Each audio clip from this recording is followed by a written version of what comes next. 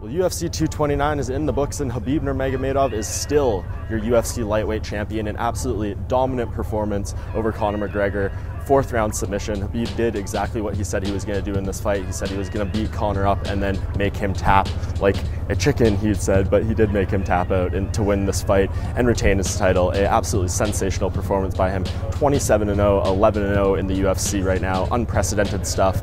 Of course, we know everything that's happened after the fight. We've discussed that. We've wrote stories about it in depth. This is more of a matchmaker article, and it's really hard to say what is going to be next for Khabib because we do not know what his future holds. Is his belt going to get stripped? Is he going to be suspended for the foreseeable future? Is he even going to be allowed to fight in the United States again? These are all questions that are unanswered at the moment. But let's just say things go smoothly. He's able to get back in the octagon in a reasonable time frame in terms of his regular fighting schedule. I think the fight that has to be done is Tony Ferguson. Let's try this thing the fifth time. Tony Ferguson, the co-main event, has a brilliant comeback performance against Anthony Pettis. Returns from knee surgery, a very serious knee injury, and gets the job done. A fight of the night type of battle in there.